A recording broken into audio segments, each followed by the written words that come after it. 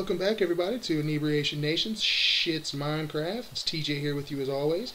When we left off, we were underground, gathering together supplies. We had just found some diamond, and I might have told you that the game was over, but that was a lie. The game is not over. How dare you be so dumb enough to believe that? Uh, we were talking about some crazy lady who thought it was okay to uh, have sex with one's niece as long as contraceptives were used, uh, but we all know that that's not okay, children. If you didn't know, um, you might need some type of education. Um, anyway, so I went ahead and did a little playing without uh, without recording. Um, I didn't want to keep you guys all day, so I do have quite a bit of, of things from that I mined. I do have some uh, some stone, not a lot. We're gonna go down and get some more here in a little bit, but um, I came up um, and uh, did a little work up here. I was getting tired of creepers and whatnot coming up and uh, I had an issue with the chicken coop because creepers and zombies were spawning in the middle of our um, our little pens here, and they don't hurt the animals, but it pissed me off. So I went in there to fuck with them to kill them, and they blew up and killed all my chickens, and uh, I had to rebuild all this area, and that's why all my chickens are dead. So anyway, so I've gone around and I've just been putting torches everywhere, all over, to keep creepers and things of that nature from uh, spawning too close to the house. Um, oh shit, that was crazy. Um, what we might do eventually, and I've seen some other people do it um, on some of their walkthroughs, is literally build um, a wall, a straight wall around our home. But that's going to be a lot of work. I haven't decided if I'm going to do that, and I'm certainly not going to be involving you guys in all of that. Probably some of it, but not a lot of it, because that's going to take me many, many hours and lots and lots of mining. Um, so here's what we were doing. I was cutting down our forest over here because we are going to cut all this down, level this out, and we are going to build an orchard out here because I want probably a 16 by 16 area of trees uh, that I can go and grow and uh, cut down and recycle for all the wood that I need. Um, and we're going to do that. Um, I'm also going to build some more um, farm area um, for us so we can have more uh, more wheat for our animals, which eventually I'm going to have to expand all this as well, and especially with the sheep because I have a project I want to work with involving wool and different colored wools that's going to be a memorial to Dayglow. Um, and I'm going to build that out here on the water so that you can see it in the distance. That's something we're going to work on. That's going to be many episodes in the future. Um, right now, what I've got you here for is something exciting that I found. I was out here cutting down some trees. I found a hole in the ground and decided to go exploring it. Um, I found a lot of resources down there, but I found something super amazing, something that we're really going to need, um, something that we can do something with. So I went ahead and dug a hole out, built a little encampment around it with a door on it. And let's go down. I'm going to show you what's going on down here. And uh, I've, uh, you know what? Hold on. We've got to grab a couple things because we're going to build a little something with it while we're down here. Um, uh, we're going to need multiple things while we're here. And let's see. We're going to need some glass for sure. Let's get rid of this. we're going to go drop some of this shit off. We're getting this, this, um, don't need the wood per se right now. So we got this wood. Uh, we found some chests while we were down there. It was really good. Um, some saddles. We're going to get rid of that junk here in a little bit. Um, we're going to go fill these with water. And uh, we're going to need... We're going to take some cobblestone, but I don't think we're going to need that necessarily. Um, let's take this, because I don't know. We might use that too. Um, don't need the saddle here either or this. Okay, I think that's pretty much everything we need. As long as we have some food, which we don't have, we just got some apples. That's good enough. We'll go for now, like this. Um, some more glass.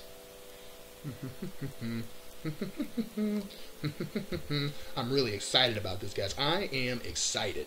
And uh, I know you guys don't know what it is yet, but it's going to be something that we could really use in the future.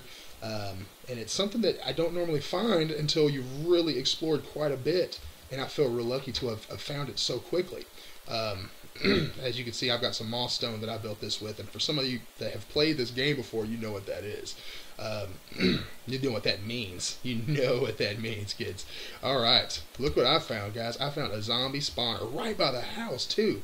I'm super excited about that. So, uh, for those of y'all who don't know what that means, is when I take these torches off of here um, and I put it on easy or hard or whatever, it will spawn zombies, and it'll spawn lots of them.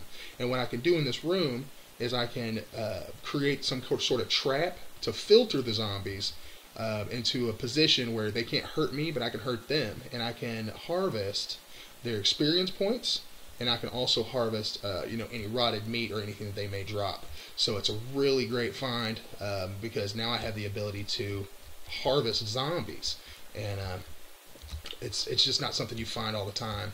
Uh, they're not really easy to find.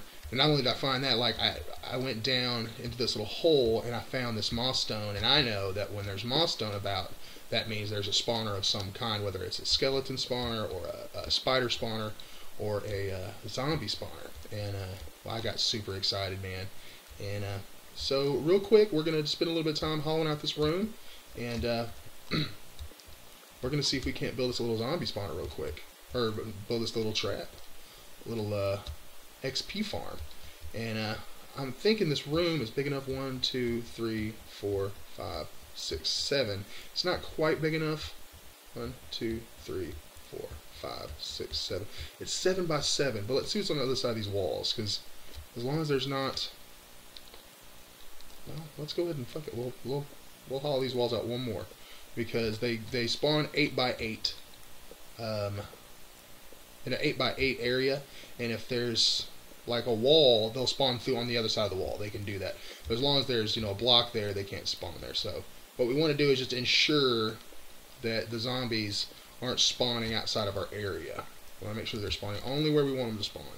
And uh, this is going to be great because we can have tons of experience and uh, and uh, for those of y'all who don't know that we can use the experience to um, to enchant our weapons. And uh, enchanted weapons just work better, they work longer, they have different perks. Um, we do have to build an enchantment table, but uh, that will not be hard. Uh, I just gotta go out and find some some diamond. And uh, once I do that, oh yeah, by the way, I did we did find that diamond earlier, and I built us a diamond pickaxe.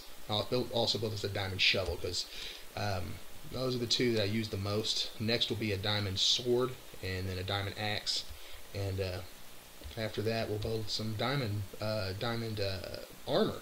And then Skrillex will be straight decked out, homie. Straight dizzect. Okay.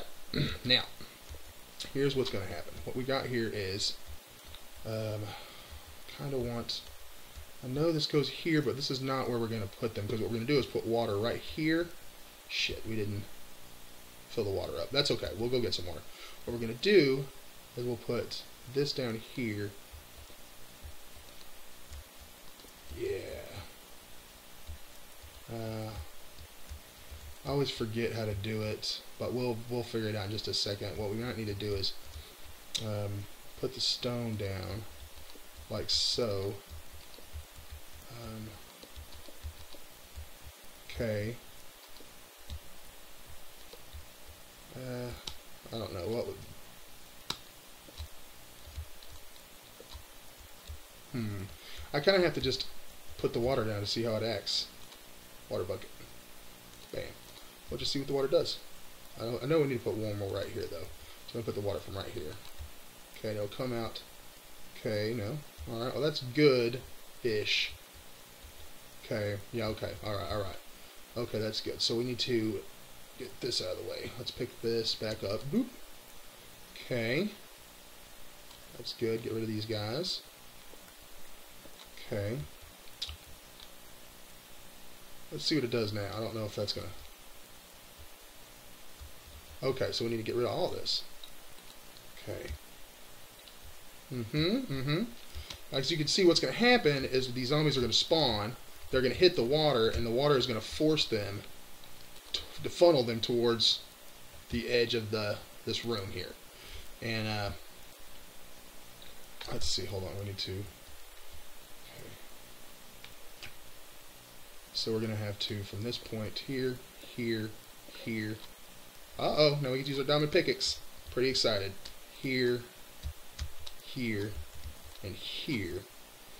And we're going to get that water to continue through, okay? All right, well, I got to pause it, guys. Have a fantastic magical day full of wonder and bewilderment. Don't you forget to thank God every day for yoga pants. All right, peace out.